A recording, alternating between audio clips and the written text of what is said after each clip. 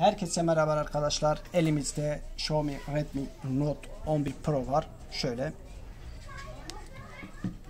Buna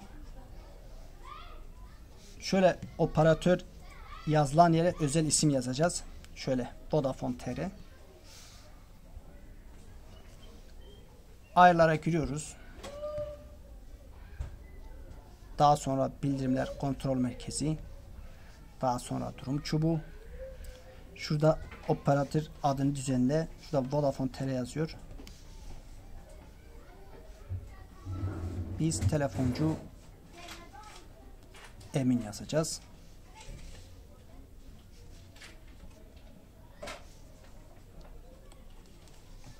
Evet, şöyle şuraya yazıldı.